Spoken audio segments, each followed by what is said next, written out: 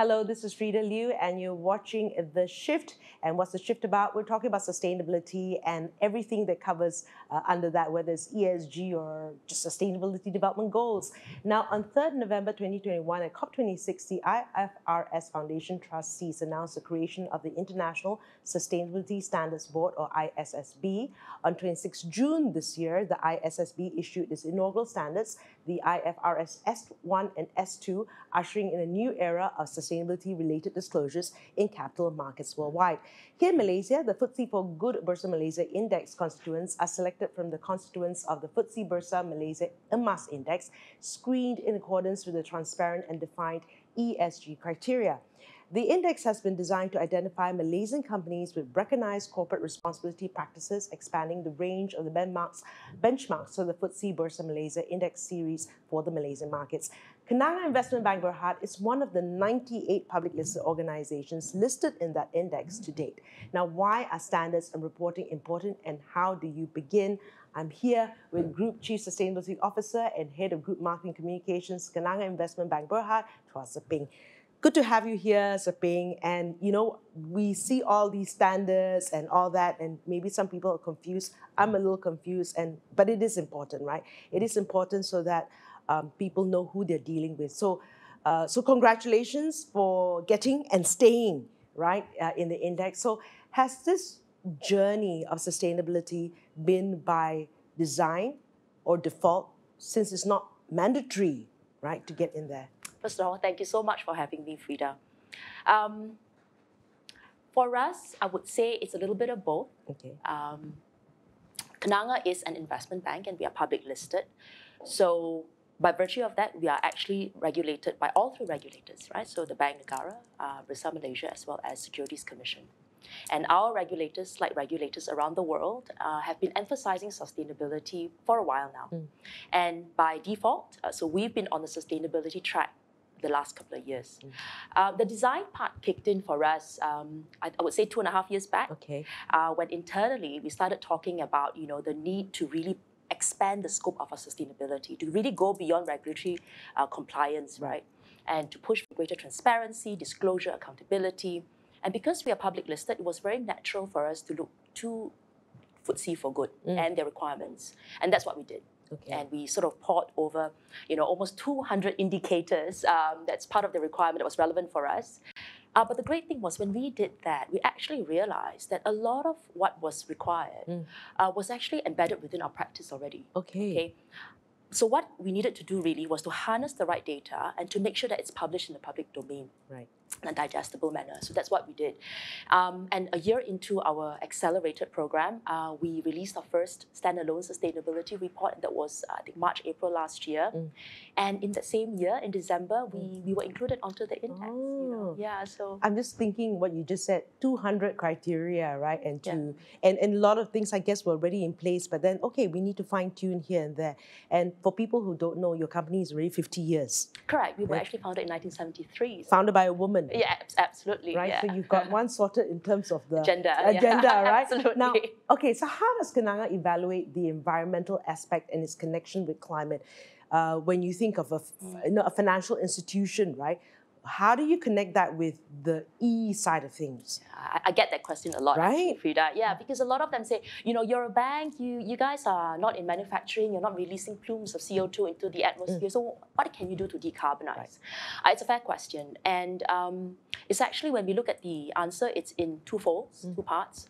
First part of it, which is the most straightforward, is what we call at the enterprise level. And so that is us really looking at our carbon footprint as an entity right. within our premises. So, for example, we operate out of Kenanga Tower, which is our HQ on Jalan Tun Razak. We've got about 20 branches nationwide. So, what we do is we manage and we track our carbon footprint of our enterprise, okay. our entity, and we try to decarbonize as much as we can. So it's very much like managing because we are we operate out of office buildings, right? Okay. So it's very much like managing your home, um, and just like managing your home, the biggest source of energy consumption you want to take a guess? Aircon. A- absolutely, air, air conditioning, right? So, so, so that's like if you remember during COVID when we were all stuck at home mm. and we had our air conditioning running twenty four by seven, and when we got the bill, fell off our chair. So, so that kind of scenario, right? So Right. for us at Kenanga, in addition to the obvious, like we Right. changed all our lightings to LED, which is something we've already done. Um, we also work with this this really amazing Malaysian startup, climate mm. tech in climate tech, and mm. they're called Zog Group. Okay. So that's spelled Z-O-G, Zog Group, right? And they were founded by this bunch of really intelligent um, engineers. Right. And they've come up with a AI-based, AI is so big these days, Right. right? An AI-based technology that allows your chiller system and your air conditioning to perform at an absolute optimal. Okay. So we've been working with them for two years now. And you know the results have been phenomenal. Um, the recent months we are Mm. clocking in up to 50% energy savings. Wow. So that's been amazing. It's great for the environment. So we're doing our part Right. to carbonize, but it also translates into cost savings, right? Right. So and you're working with a Malaysian startup. yes, absolutely. It's Malaysian people. So that yeah, it's really amazing. okay, I need to speak to these these these folks, right? And it's, it's a great story and how so little things like that, right? When you look, you change your LED lighting, you get the best in terms of uh, energy. Um, and, and so that's one way. Um, okay, so that's that's the, the E part, right? What about the, the social and governance aspects and right? You know, how how do you can you share some examples of what you all do in that area? Yeah, ab- absolutely. But just just very quickly Mm. going back to climate as well. So one aspect obviously is what we just mentioned, Yeah. but the other aspect to that, ju- just so I could just Yeah, round yeah, it off, you don't mind. Um, just the other aspect to that really is us using our resource, and this is where the action really is Mm. for institutions like us, right? And that resource actually is capital. Okay. Okay, so as you know, um, globally, you know, there is a massive funding gap when it comes to ensuring we meet our 2030 United Nations Sustainability Development Goals, right? Right. And that funding gap goes up to $5 trillion every year from now till year 2030. Okay. So because we are in financial the financial system, so there Yeah. is massive duty for us to make sure that when we capital allocate, we are channeling funding into you know the right businesses we're catalyzing Okay. the right sectors whether Right. it's renewables whether it's you know carbon capture they all require funding and to help them scale so Mm. that's actually our role as well and that's what we've begun doing as well we started screening our investments and our lending activities based on esg Mm. uh, lens as well and the idea is not to punish anyone or Right, to right. penalize anyone you know but to identify those who are perhaps are falling short and and work with them to improve their esg score so that sort of rounds up the both aspects of our impact on the climate Right. So yeah. there's what you can do physically. Like that's that's a, your scope one, scope two kind of thing, right? absolutely yeah Okay. And then uh, I guess also in terms of the the funds that you provide, yes you're moving in that area as yes, well. correct. So we're, we're screening, we're screening invest, investee companies on a based on an ESG lens. Okay. Uh, yeah, that's correct. So what do you do in terms of the social side? I think I'll go bit by bit in Yeah, terms. absolutely. Okay, social first. Um, in terms of social, um, like a lot of brands and companies out there, you know, DEI is a big feature Mm. for us, diversity, equity, and inclusion. And I think we alluded to that a little bit earlier, you know, that Kenanga, despite the fact uh, we are uh, a financial institution, very male-dominated sector, uh, we were actually founded by Tengku Noor Zakiah, a wonderful female entrepreneur. I'm not sure whether you've met her, but she's, she's wonderful. So for us, um, gender diversity, the tone of that was set right from the very start, from the very top. Right. And you can really see that translate into things like our culture, Mm. um, or into things like you know our composition of our uh, male versus female uh, within our workforce. So we operate at a fifty-one percent female workforce. A lot of people find that quite surprising. Right. Um, and when we track even further into details like um, gender pay ratio, Mm. we were happy to see that it was almost at parity. Right. So, you know, I think but when you have the right leadership, the right culture, it translates into those kind of outcomes, Right. which we are enjoying. And I guess the, the people on the board you would have you would meet at least thirty percent. Yes. Right. Of course, that would be the standards. Now, what about governance? Um, as a uh, bank, Mm. we are again very highly regulated. Okay. Um, so governance is our mainstay. Yeah. Okay, goes without saying, right? Right. But above beyond just meeting regulatory requirement, we're really proud of our flagship program. Uh, we call it Fraud Awareness Week, Okay. but essentially it's actually an entire month dedicated once a year uh, to you know raising awareness around fraud, right? Our anti-fraud for that for that matter, and it's it goes beyond just within Kenanga. We rally you know our professional bodies, regulators, uh, other industry players uh, together, you know, uh, to promote awareness around it. So we have quizzes, we host international speakers, Okay. and a lot of fun and games. And this year again, it's happening in November. I'll be sure to send you an invitation. Okay, so this is Yeah. this is the, the whole uh, educating the community at large, Absolutely, right? absolutely. Uh, customers know customers. Now, um, and again, of course, sustainability isn't and shouldn't be a department, right?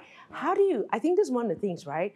Um, how many thousands of employees? How do you get uh, all employees to come on board together? How do you communicate with them, right? In your in your other portfolio as a communications uh, head as well. Yeah, um, absolutely. Uh, I think there's been a lot of emphasis. You know, people talk a lot about, oh, make sure you get board buy-in. You know, you get your senior management's uh, sponsorship on your event, uh, on, on your program, right?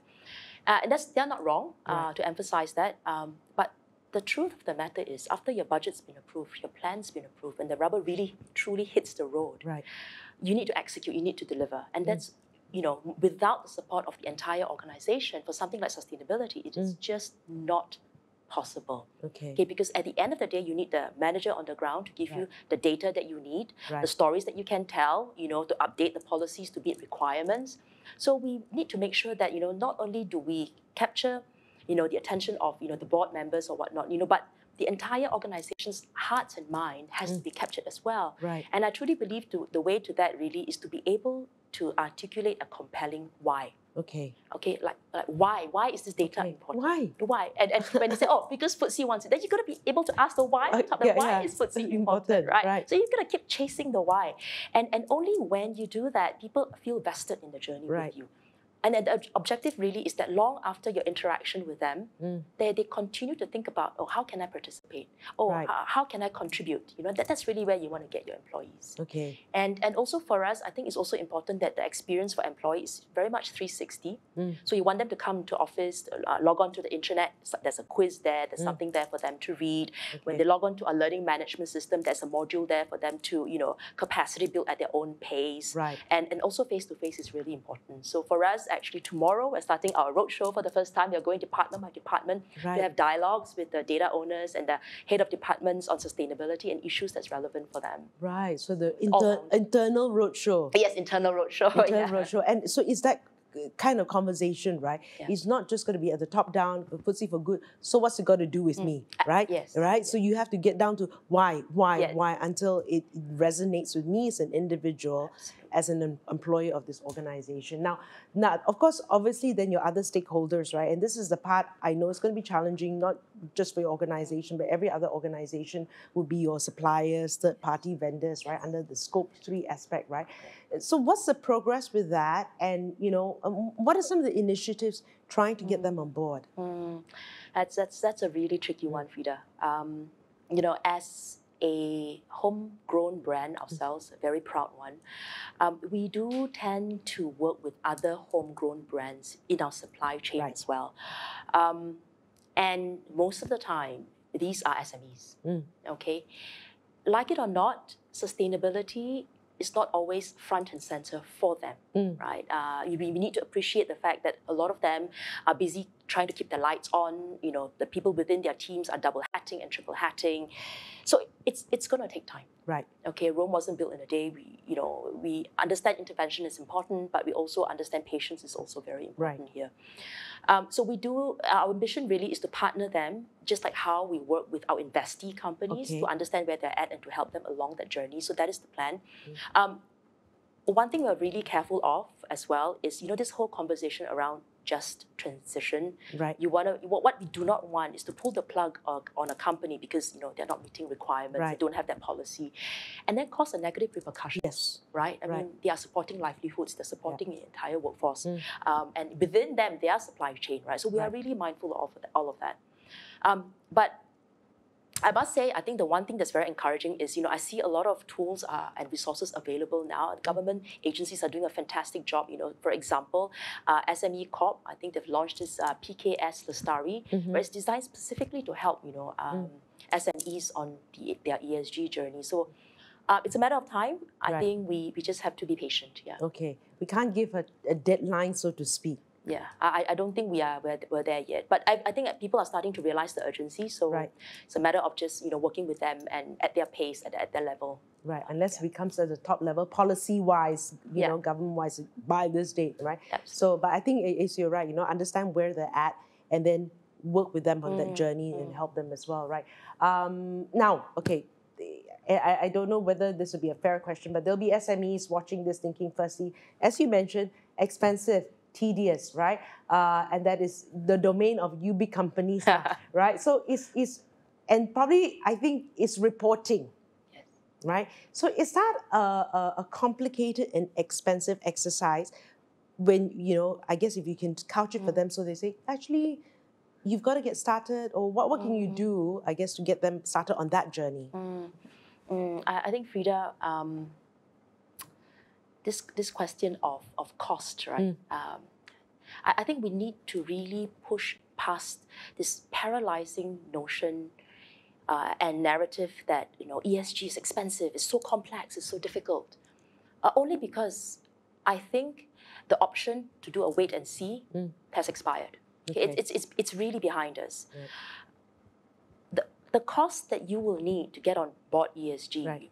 Whatever that may be, mm. I can assure you, I can assure you, it's not going to exceed the opportunity cost that you will have to bear Right. if you're not ready. Let, let's put it that way, okay? Okay.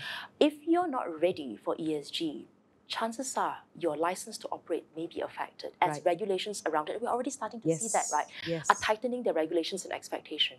If you're not ready, chances are you're going to miss out on capital. Right. Banks are starting to evaluate a certain way, so are investors. I think Yes. we've just spoken about that. Mm. And if you're not ready, you're going to miss out on a whole generation of consumers who are ready to pay more Right. for sustainability products, sus- sustainable products. Yes. You know, and and just one very clear example is in three months' time, the mm. EU mm. is putting in place what they call CBAM, right, carbon border adjusted mechanism, where if we anyone who exports into the economy will need to do two things: one, disclose carbon emission, Okay. and two, possibly pay a tariff on it. So if you do not have clarity of your data, carbon data, you, you know, how are you gonna Okay, continue your business okay. with them? And Malaysia is an ex- is an export-based right. economy, right? And that's three months from now. yes, October. So you don't wait and see, you have to start. you have to start absolutely. you, should, you know, and then you know, run, don't walk, right? um, okay, now, um, so also, so being seen as ESG ready is should be seen as an investment rather than a cost. Yes, I think it's definitely an investment, and the return may, may not be obvious and as immediate as one would expect. You know, Right. it will come in many different ways, right? When you resonate better to your with your employees, they may Right. work harder, they may be more motivated. Um, you know, the return could come in a form where you can resonate better with your consumers, and they stay loyal with you. You know, um, and, and so on and so forth. You know. Right. No, I was just I was just uh, doing this exercise and I was talking to, to somebody about it. He said, "Look, we always have catering events, right? Yeah. We always have catering events with our com- within with employees every year. Guarantee Chinese New Year, Raya, Yeah. Deepavali, Christmas, right? You're just looking at who you choose to partner with in terms of your catering. You're already doing something, right? So sometimes something as As simple simple as that. as yeah. simple as that, right? Okay, so uh, I would just say, you know, from your perspective, having worked for corporate, but also understanding like SMEs, and you say, don't wait and see, you know, and you got to get started. But your advice to get started on this journey, the first step is Wow. Mm. okay. Um, you know, I've I've been in corporate for over 20 years and sustainability the last couple of years. And in that space of time, I've done certification, you know, even as a company, we won awards and, and all the rest of that. Mm. But I will never proclaim myself as an expert, you know. In fact, I don't think anybody can. Mm. Right. How can we when the whole of humanity is trying to figure things out still, right? How do we get ourselves up from this existential crisis, right? Um, but you know, the point is that we do not have to wait till we are ready. right, I think the most important thing is to roll up your sleeves, get started, and Right. keep asking questions. You know, the most important commodity that any sustainability practitioner Yeah. must have is actually just a curious mind. Right. You know, keep chasing the why, keep asking the why on the why, even when the answer is obvious, especially when the um, answer is obvious, right? Right. And because only when you do that can you get to the very bottom of how you and your business is impacting the planet and Mm. its people. And only when you have a clear view of that can you formulate plans that are meaningful, take actions that are meaningful, and make change that is meaningful. You Right. Know? Yeah. Right. And I think like in your case when you were saying that, you know, uh, this is Kenanga and then we're like, okay, uh, FTSE for good. And then after that, okay, what do I do next? First thing, look at the 200 criteria right. and what do we do? And that was just being curious and improving on that. Right. Okay. Any any other last thoughts uh, around this, Iping? No, just get going. Just get Go, going. Yeah. Uh, thanks for being here on the show. And of course, the Ping from Kenanga Investment Bank. And you have been watching The Shift with Frida Liu.